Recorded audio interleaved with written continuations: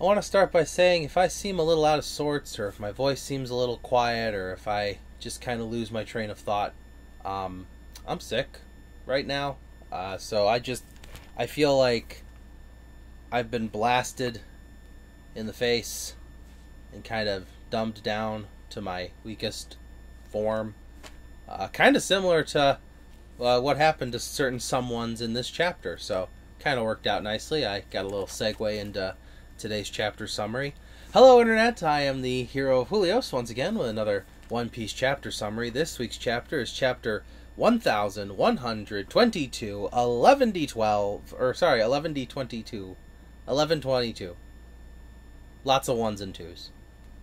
Um, the time is right. Or, sorry, time is right, not the time. Um, but the art this week actually isn't uh, any particular cover story or fan request.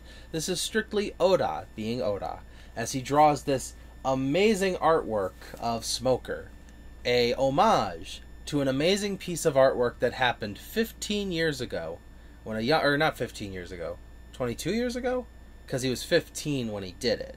A young young man who said, "I'm gonna draw this. I'm gonna send it in to the Usopp Pirate Gallery because I don't know if they still do that in Japan. I don't see it in the question corners anymore. Um, but it was basically um, in the early days of the One Piece manga. Uh, sometimes instead of the SBS, you know, the Oda answering questions, we'd get fan art submitted, and we would just see a bunch of drawings made by kids who really like One Piece. One particular artist drew a really nice image of Smoker, and Oda really liked it. Cut to a few years later, uh, well, not a few years, uh, quite a few years later, uh, Oda was at a New Year's party for all the mangaka of Shonen Jump, and this young artist came up to him and said, "Hey, it's me, the little, the little kid that sent in this artwork, whatever." And Oda said, "Oh, that's cool. Welcome to being a mangaka, being an official author of the stories that appear in Shonen Jump." This was Horikoshi, the creator of My Hero Academia. I don't usually talk about other manga on this channel, although I've thought about um, there's a couple other up and coming mangas that I'd like to maybe talk about now and then. Actually, I have a comparison to one later on in this uh, chapter summary, but it's really cool to see that Oda pays homage not only to legends before him like Dragon Ball or his peers like Naruto, but that he even acknowledges those who have come after him like young Horikoshi. Uh, the reason Oda did this recreation of his drawing is because this week is also the final chapter of My Hero Academia. Personally, I don't know. I, I, there's things about the ending I didn't like. There's things about the ending I did. Uh, I read it almost every week, like I do One Piece. Sometimes I'd let a couple chapters get ahead and I'd catch up. But overall, it's a fun ride. I would recommend it to anyone who isn't super passionately into manga. Um, if you really like comic book stories, this is a nice segue into the medium. Uh, but enough about other manga. Let's talk about the actual reason we're here. The chapter starts off with pretty much every chapter we've had since Vegapunk began this entire speech. The world is confused. We got this one ice island talking about it. We got this tribalistic looking island talking about it. Most importantly, though, we got the inmates of Impel Down talking about it. They're all cheering, they're all excited because some people seem to have misinterpreted Vegapunk's speech. Vegapunk said the world will be entrusted to the one who finds the One Piece. That didn't exactly mean pirates, although a lot of people know that pirates are the ones searching for the One Piece. So there's actually a few concerned citizens who even say, What is the Navy going to do about this? And we know that Sakazuki is like, Ah, crap, we're going to have to go get them, we're going to have to go get it now. So he's, you know, starting to do his thing and whatever he can mobilize given the red tape that binds him to the ground. But uh, we see that the Impel Down inmates are super stoked about this they try to suppress this information, but unfortunately for them, every transponder snail in the building is relaying this message. It cannot be overridden, and that's exactly what Vegapunk was going for to tell as many people as possible what happened. he does finish with him saying that Joy Boy is hit. But we'll get to that in a moment. Individuals of randomness around the world are not the only people who know about this message. They are not the only people receiving this message. One of the most important people receiving this message is Koby, as he's listening to this and hearing that, you know, whoever finds the One Piece determines the future of the world. And as we know, he's one of the 12 people that Oda showed in that final panel, which everybody is saying is like these are the 12 most important characters in the story now. Yeah, I can agree with that. Every character we saw there is very important one way or another. I'm not exactly sure how important I would say Garling is. I would like to know a little more about him before I lock him down as top 12 most important characters of One Piece period. But he was one that Oda selected, so I'm looking forward to learning more about him. And also the mysterious stranger who may or may not be related to Shanks, may or may not be the man marked by flames, may or may not be insert crazy fan theory here, could be Luffy's mom. Who knows? It's One Piece. But as Koby's listening in on this, he actually says Luffy, and you actually we see a little flashback of the day he met Luffy and how Luffy saved him from Alvida. He says, "I'm sorry, Luffy, but I may actually have to put a stop to your dream."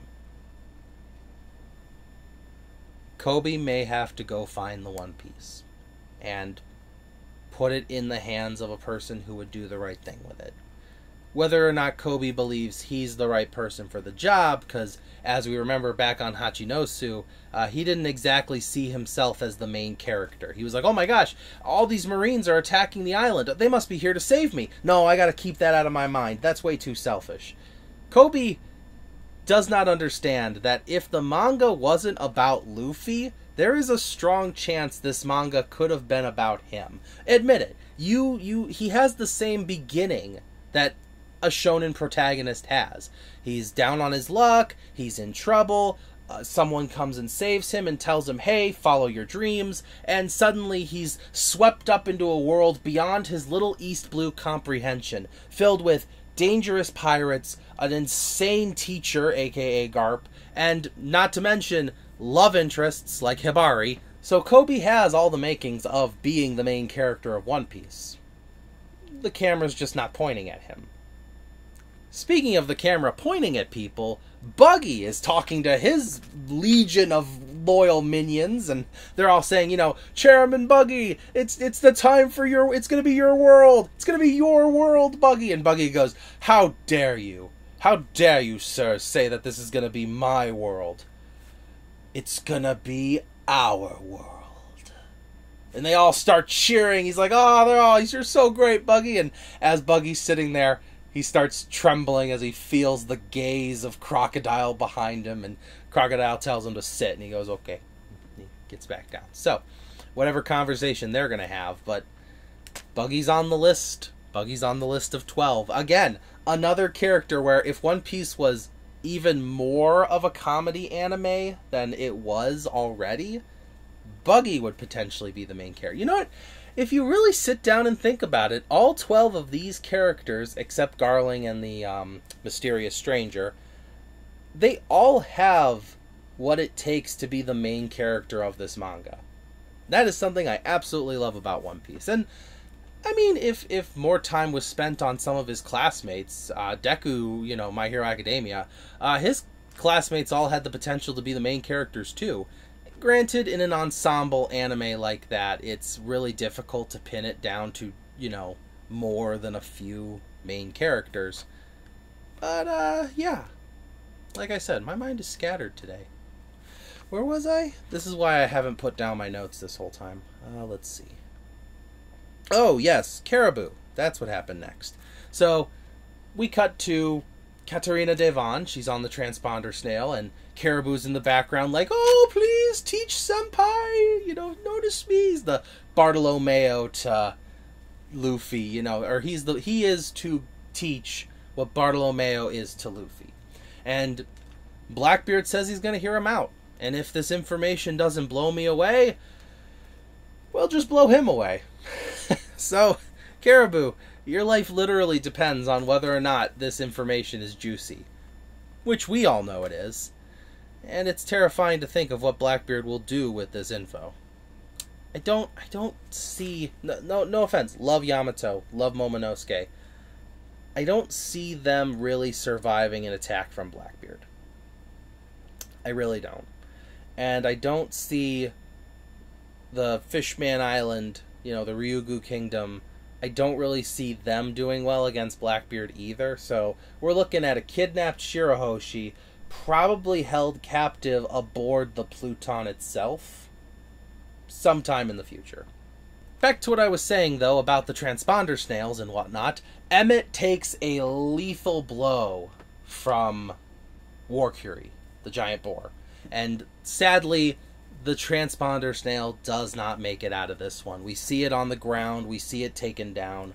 I'm pretty sure it's it's not dead maybe, I'm hoping, poor little snail, but this could be the end of the little transponder snail. Regardless, this is the end of the transmission, and all we have to go off of is what I said earlier. Joy Boy is his. Personally, I think it's the beginning of the word history. Joy Boy is history's greatest hero. Joy Boy is history's greatest villain. Joy Boy is history's final link or last character or last power player. Joy Boy is his own man. Joy Boy is his own kingdom. Joy Boy is his own mindset. There's a lot of words that start with HIS. And that is the American English translation. So uh, I would definitely recommend looking into some Japanese translators, seeing what their opinions are on this. Uh, Artur is always a good choice. Um, you know, the Library of Ohara is always well appreciated when I'm doing my own research. But we don't know what the end of that info is.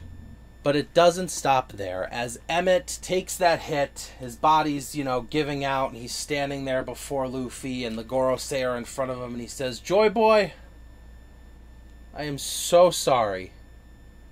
I'm sorry I couldn't make you king. That's interesting. He also tells Luffy, I'm sorry that I mistook you for Joy Boy. You just, you sound so much like him, and I just want to say thank you. Thank you for letting me hear that heartbeat again. What is your name? And Luffy, of course, in typical Luffy fashion, tells him the whole title. I am Monkey D. Luffy, and now I'm going to be king of the pirates. And he goes, ah, that makes sense. So he grabs this little rope inside of him, Joy Boy, or not Joy Boy, um, Emmett, and he tugs on it.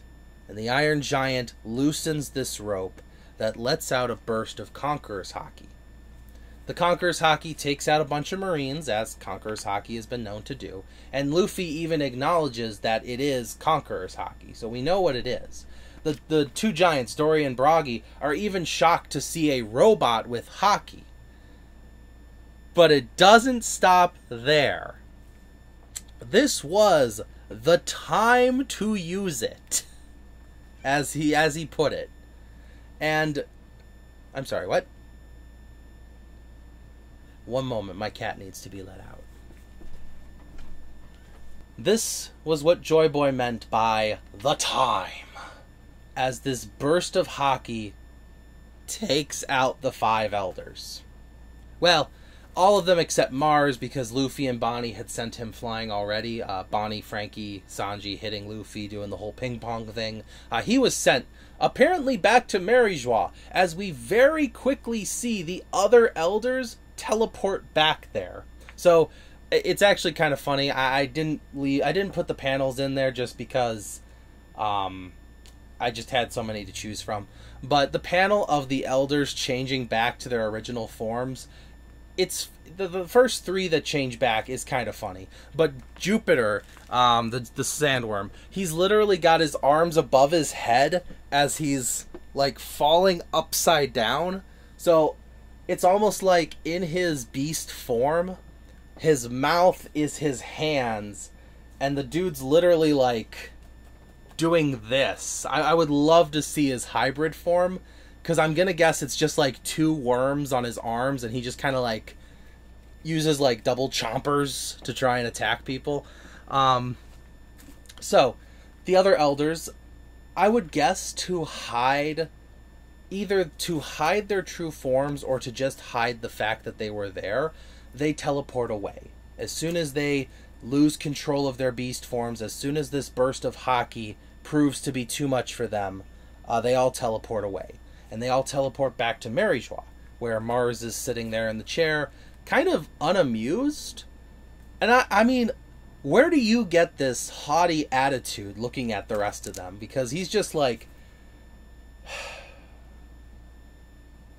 he he even gives that like eyebrow raise of like like Jim Halpert looking at the camera, kind of just like, really, guys, a burst of Haki took you out. How inelegant of you. Which my brother pointed this out to me. Mars of the Gorosei looks way too much like Henderson from Spy Family. It's another manga I've been reading. I cannot get over how much he looks like him to the point where we have started making elegant jokes with Mars. And I, I don't know. I mean, the fact this Har- Mr. Herriman from, you know, Foster's Home looking dude has the audacity to call the. I mean, he doesn't say anything. I, I'll say that. He doesn't say anything. But the look on his face just says disappointment when he wasn't even caught in that blast. Speaking of not getting caught in that blast, though, Eam is panicking. We actually see Eam doubled over in pain, screaming, while this other silhouetted figure is like, "Oh Lord Eam, are you okay?" And and Eam's like, "Joy boy." So Eames having a heart attack. Also, there's another individual in this room, and I cannot for the life of me remember if we knew there was another individual in this room. I feel like we have seen someone else in there. But this might be the first time. I'm gonna have to look it up. If if I if I do find proof, if I find caught, what's the word? If I can confirm or deny the fact that there's always been a second person with Eam, I'll put it down here. If you see no text, it means I didn't find anything before I finished editing. Um, but there's another person in that room with Eam, so it's either Eam really can split himself up and talk to himself or like the Gorosei are, you know, extensions of himself or what have you. Or there I guess it could be maybe Garling and the Gods Knights know about him and that's just one of the Gods Knights in the room. Anyways, I'm way more interested in this silhouetted figure than I am in the silhouetted figure in that 12 character panel because this person knows Eam and is in and hangs out with Eam in the butterfly room where he's got that weird, you know, simp photo of uh, of Lily. That's her name, of Lily in his home. So whoever that is, uh, but anyways, it is Joy Boy's Haki. That is that is what Eam feels because Eam would recognize that kind of power.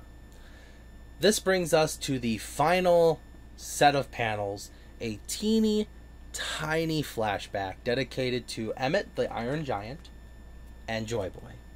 As Joyboy tells him, he says, Emmett, I'm about to do something pretty crazy.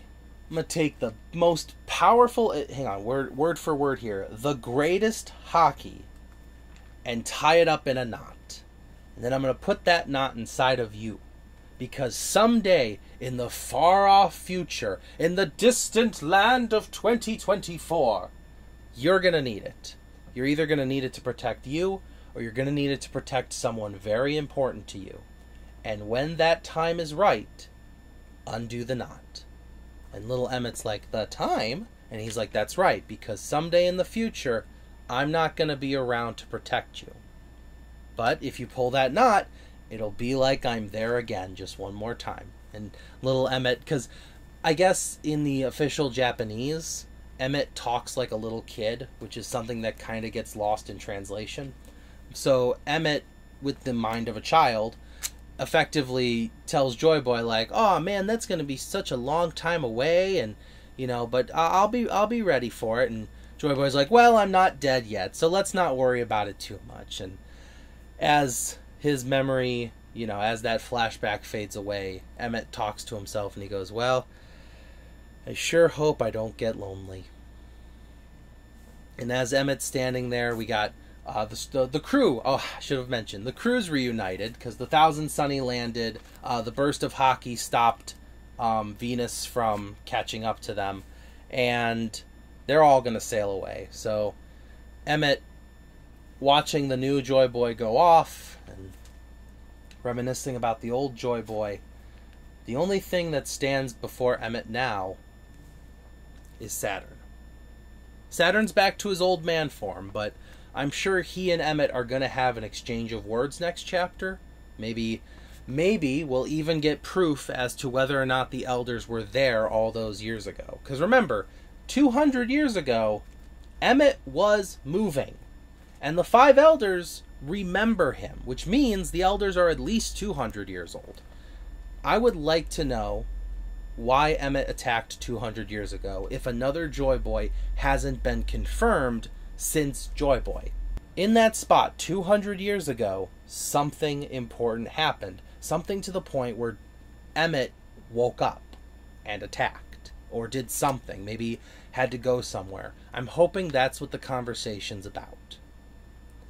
But let me know in your comments below. Maybe uh, Saturn's not going to say anything. Maybe he's just going to turn into his spider form and he's just going to spider stomp again because, gosh darn it, I feel like Saturn's just the most unoriginal fighter in all of One Piece. He's got like eight different abilities and always chooses stomp. It's like a Pokemon. He's run out of all the PP of his other moves because apparently they were all one PowerPoint moves. Anyways, Saturn's my least favorite Elder. Let me know in the comments what you think's going to happen next chapter. We're on break next week, so I'm going to have to figure something else out. And I really hope my head cold goes away because, gosh darn it, I- am editing this is going to be really annoying because there's a lot of broken thoughts and pauses. Oh, right. This is the hero of Holios, Xing out.